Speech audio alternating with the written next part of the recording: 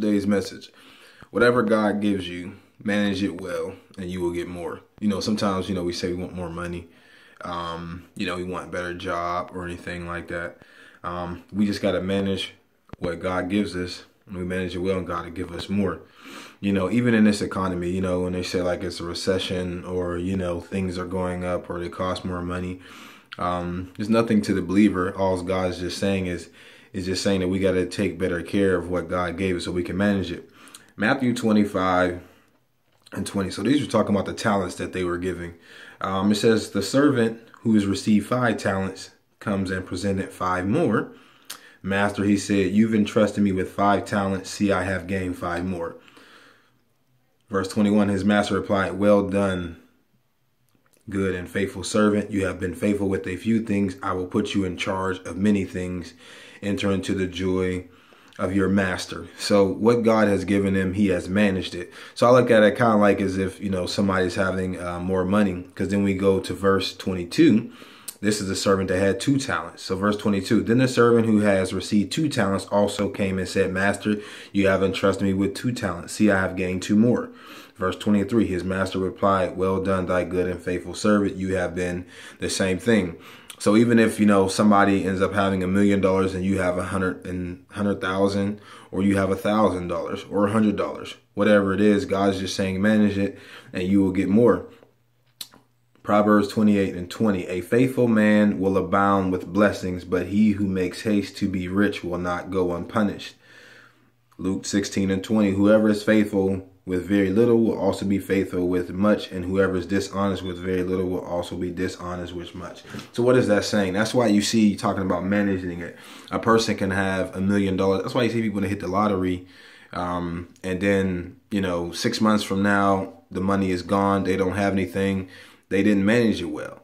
You know, um, and you can see people say, "Well, you know, I'd rather have a million dollars than you know be broke." It's like, yeah, that's that's a good thing, but if you don't know how to manage it, what good is it? You're just going to have it for a little bit and then you're going to go back to the normal state of that. You know, that's why you see people, if they don't manage a hundred dollars well, um, they're probably not going to manage a thousand dollars or a hundred thousand or a million because the same spending habits that they have with the hundred dollars is the same spending habits they're going to have with the million.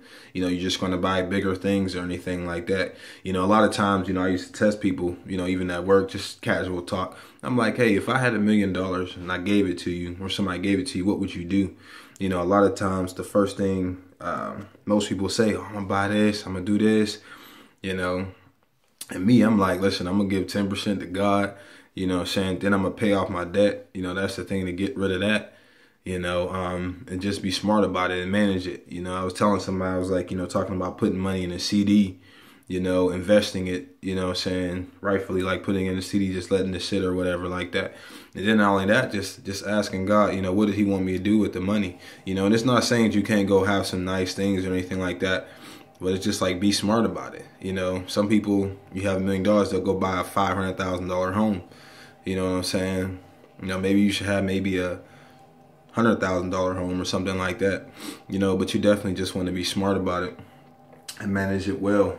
Matthew 24 and 46, it says, Blessed is the servant whose master returns and finds him doing his job. So we know the scripture says that, um, you know, whatever we do, you know, work as if we're working for God, you know, because God reward us. So if if God gives us these talents or the amount of money that we have and we manage it well, he can give us more. I mean, as you see in the scripture. So then you look at, you have, um, I was thinking the scripture. So again, we're going to read that on Matthew 24 and 46. Blessed is the servant whose master returns and finds him doing his job. So there's a job that we're supposed to be doing, you know, with what God gives us. And then you look at Matthew 6:33. It says, "Seek ye first the kingdom of God, and all things shall be added unto you." So whatever it is that you may be seeking from God, you know, God will add it to you when you seek him first. So no matter so so so we learned that First, we seek God first, Matthew 6 33. Then after that, we end up, you know, we, we manage what we have, what God gave us. We manage it well, and God will give us more. You know, and even when we bless people, when we put seeds in the ground, you know, when you give people something you bless somebody, like I seen a guy yesterday give somebody um, shoes off his feet that didn't uh, you know, that, that didn't even fit the guy, but you know, he just wanted to be a blessing. It was awesome to see that, you know, God is going to bless him even more. So just wanted to say again, whatever God gives you, manage it well and you will get more. So even if you're at a job that you want a better job, work at that job as if you're working for God and God will give you a better one or God will promote you. All right, love y'all. God bless.